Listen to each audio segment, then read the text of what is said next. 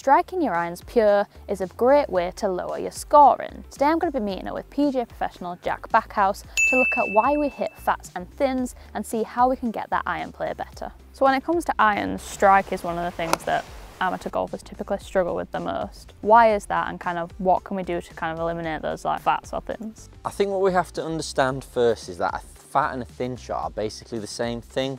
All that's different is the contact with the ground. So on both of those shots, what's happened is the club has swung down and has bottomed out too early.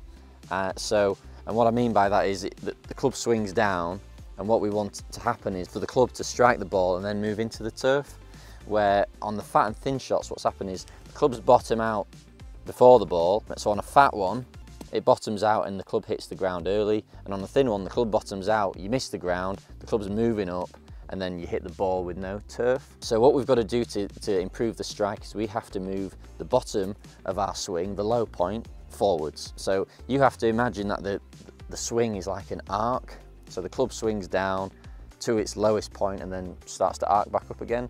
So we want to move that low point probably two or three inches ahead of the ball with the irons to ensure that solid strike every time. I think it's probably a big misconception because a lot of people would just think, well, I'm trying to hit it you know, into the back of the ball, like the low point surely should be there. Yeah. And it kind of doesn't really make sense to them that actually it should be in front of the ball because you're hitting that ball on the way down and then the swing is kind of finishing. So a good way you can sort of look at this is if if you go on out onto some grass and make some swings or hit some shots, if you hit a shot properly and you take a divot, the actually the deepest part of the divot is probably two or three inches after the ball.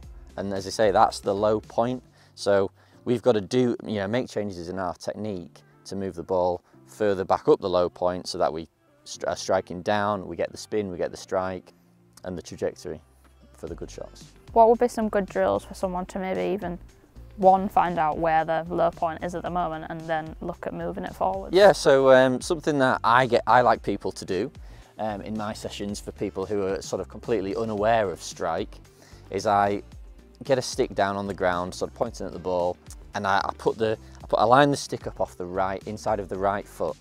And what I have people do is just make some practice swings and see if they can get the club to hit the ground after the stick.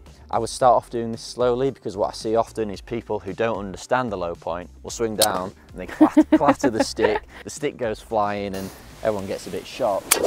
Um, so start off slow, but just like you normally would, normal stance, stick inside the right foot, and just practice making some swings where you, you, the club hits the ground after the stick, and that's how you know the low points forward. Another thing I try to get people to do is try and take the divot off the front foot, even if they're hitting a 9-iron or a wedge, and that just gets people, you know, leaning forwards, hitting the ground forwards because obviously we're playing these shots from sort of like a middle ball position. Sometimes it is almost just like a simple case of awareness and showing people where the divot needs to be. Definitely. But other times there's going to be faults in the swing yeah. that are causing people to hit those fats and thins. So what are kind of big things that you see people get wrong a lot and how can they work on them? So the, the, there's probably two big things that really that we see all the time. The, the first thing is golfers don't get their weight on the front foot enough.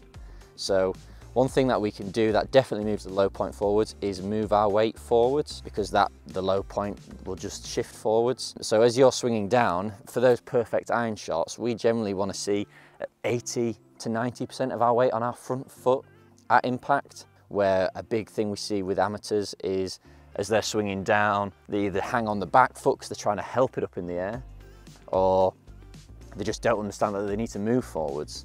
I think that's a huge thing because you see so many people kind of leaning back. They're trying to get the ball in the air, but what they don't realise is actually hitting down into the ball is going to give it that loft yeah. and height. So all of our clubs have loft. Clubs are designed with loft for that reason. So what what we have to do is let the club do its job, you know, and do what it's designed to do. So I've got a 9-9 here, and even though I move forwards, I've still got loads of loft the, the clubs don't need any help getting the ball in the air and once you realise that actually we are trying to sort of hit down for it to go up, people generally improve quite quickly.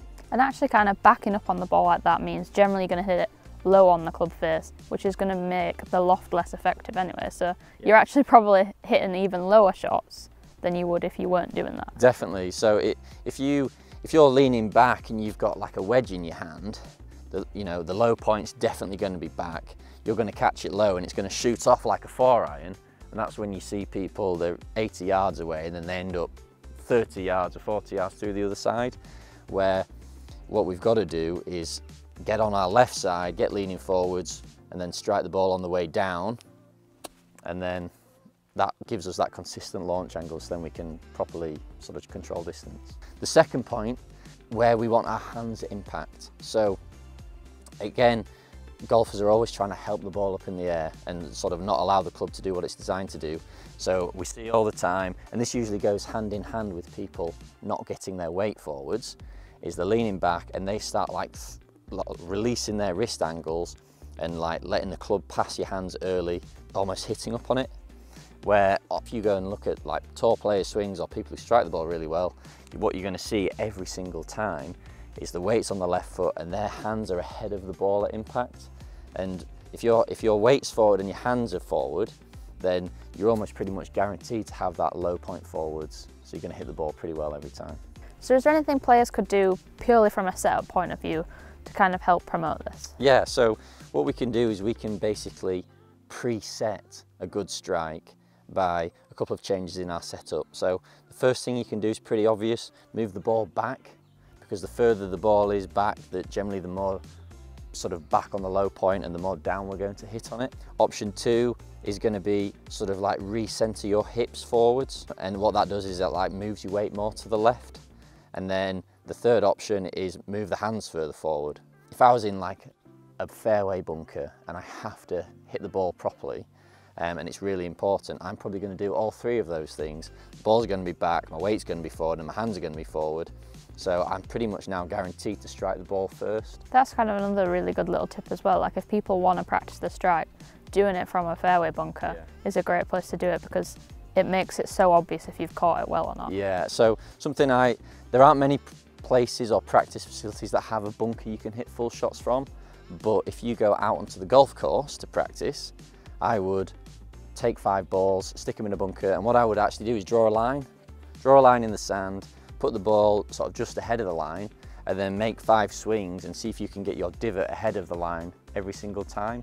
And what you can do is play around with those three things, ball position, weight, and hands, and see, do I need all three? Can I get away with just one? Or, you know, what we have to do, because it's to be sort of personal for everybody.